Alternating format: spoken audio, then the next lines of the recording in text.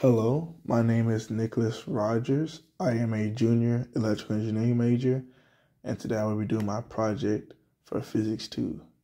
So, the problem that we were given deals with magnetic fields due to semiconductor wires, and the law that we have to use to solve that is called the Biot-Savart law.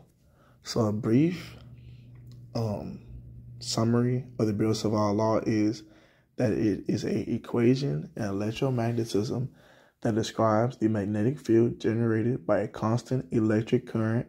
It relates the magnetic field to the following magnitude, direction, length, and proximity. The law also states the magnetic field is inversely proportional to the square of the difference distance between the conductor and a point. The magnetic field is directly proportional to the length of the conductor, as well as the magnetic field is directly proportional to the current following in the conductor. The difference between the Biot-Savart law and the Ampere's law is that the Biot-Savart law considers the contribution of each element of the current in a conductor to determine the magnetic field, while Ampere's law needs only the known current passing through a given surface. First, I will draw the figure that would be needed to solve the problem.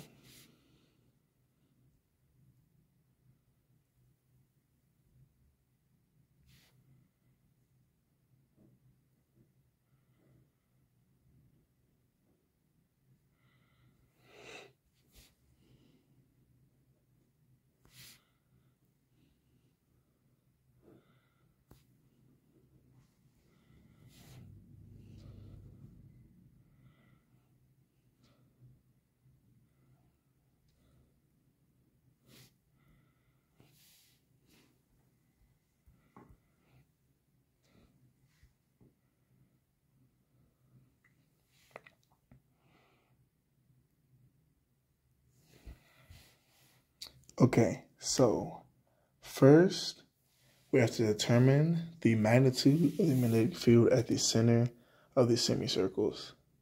So we're going to do that by considering the contribution of each individual semicircle. According to the Biot-Savart law, the magnetic field created by a current flowing through a circular hoop with a radius at a distance r from its center can be expressed as B is equal to mu naught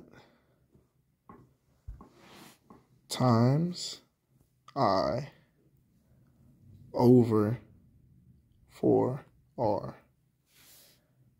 Now in this problem, we have two semicircles, one with current flowing clockwise and the other with current flowing counterclockwise. The direction of the magnetic field due to each semicircle needs to be considered. The outer semicircle, the current in the outer semicircle generates a magnetic field that points into the page at the center. According to the right hand rule, the radius of the outer semicircle is B so its contribution to the magnetic field at point B can be expressed as B outer is equal to mu naught times I over 4B. Now, dealing with the inner circle. The current in the inner circle generates a magnetic field that points out of the page at the center. Due to the counterclockwise current, the radius of the inner circle is A, so its contribution to the magnetic field at point P can be expressed as B inner is equal to mu naught times I over 4A. Now, to find the total magnetic field at the center of these semicircles, we have to account for the fact that these two fields have opposite directions. Since they subtract from each other, the combined magnetic field can be expressed as the difference between the outer and the inner circle's contributions to the magnetic field. So we can write that as B is equal to mu naught times I over 4a minus let me just move to this next spot minus mu naught times I over 4b. Now, this can be simplified down to move to the next page. B is equal to mu naught times I over 4 times 1 over A minus 1 over B.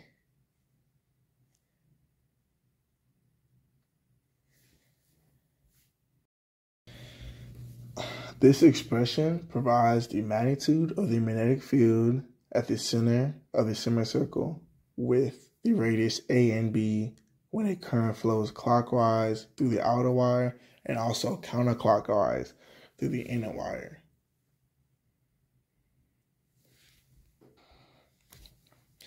Along with that, the final expression for the magnetic field at the center of the semicircle, when we look at the radius A and B, can be seen as B is equal to mu naught times I over 4 times 1 over A minus 1 over B.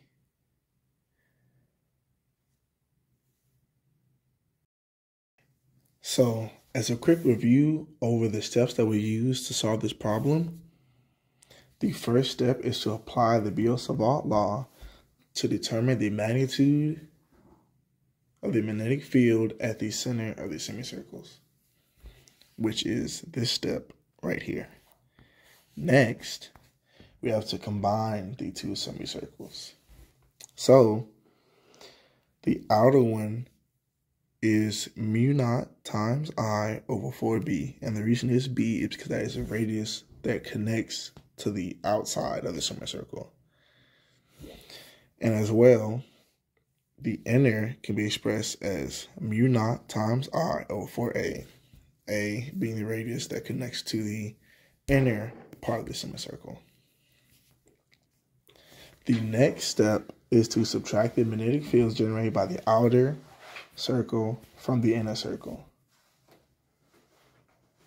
Field to get the total magnetic field at the center of the opposing currents,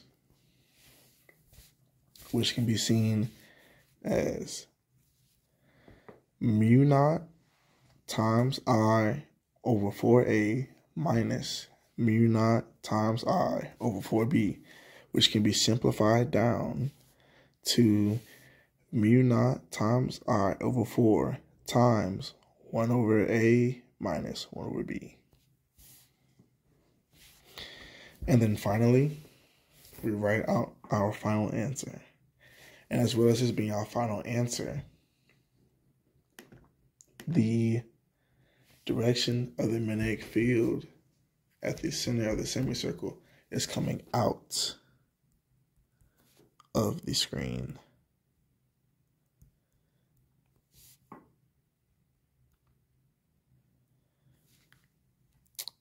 Once again, my name is Nicholas Rogers, and this was my physics project dealing with magnetic fields due to semicircular wires. Once again, I want to thank you for the time of watching my project.